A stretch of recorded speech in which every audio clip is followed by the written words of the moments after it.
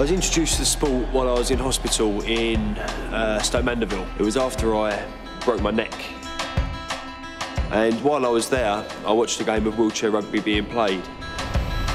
It was one of the first days I was actually up and about in a wheelchair, and at the time I was very weak.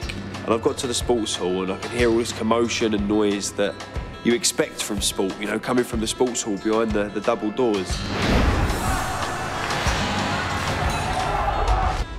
But what I didn't expect was to open the doors and find a game where people were in wheelchairs being played. I was expecting that to be the five-a-side going on or something like that, and then, you know, the wheelchair rugby, you know, somewhere else.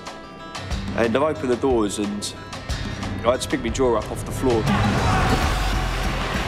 The confidence levels and the adrenaline and the aggression off the players. There was a point where I looked at them and I realised a lot of them had worse injuries than I did. I thought to myself, you know, if they can get on with it, then then so can I. And now, after seven or eight years of, of playing, go full circle and be captain of that team of individuals that inspired me and helped me through one of the darkest times of my life, um, is something I could never have, have imagined or, or ever expected.